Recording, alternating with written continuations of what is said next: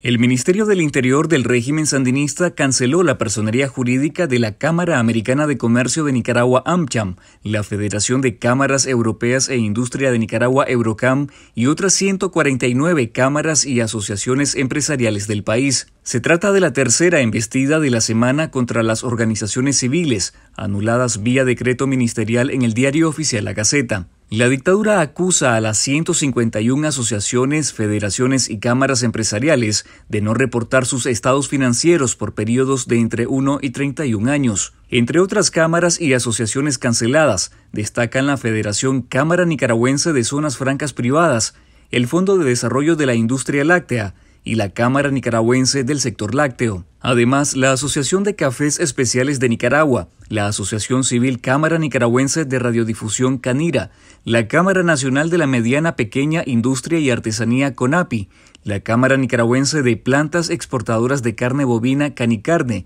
y la Unión Nacional de Agricultores y Ganaderos UNAC, entre otras. La cancelación de estas organizaciones ocurre tres días después de que el régimen, en una medida sin precedentes, eliminó 1.500 organizaciones religiosas y gremiales. Con la eliminación de estas 151 organizaciones, el régimen sandinista alcanzó la cifra de 5.373 ONGs canceladas desde finales de 2018, más del 70% de las organizaciones registradas hasta 2017 en el país, según un registro de datos de Confidencial. El martes 20 de agosto de 2024, la Asamblea Nacional controlada por el oficialismo también reformó las leyes que regulan las ONGs en Nicaragua.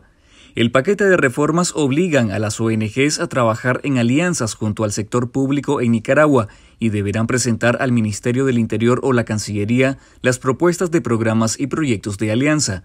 El régimen decidirá si las acepta o no.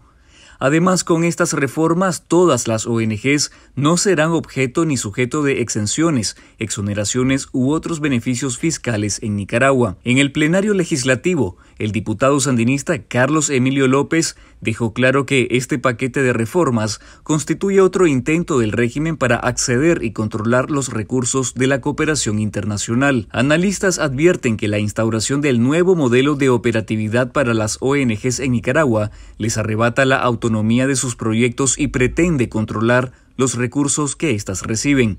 Lee más detalles sobre la cruzada oficial contra las ONGs en Nicaragua en nuestro sitio web confidencial.digital.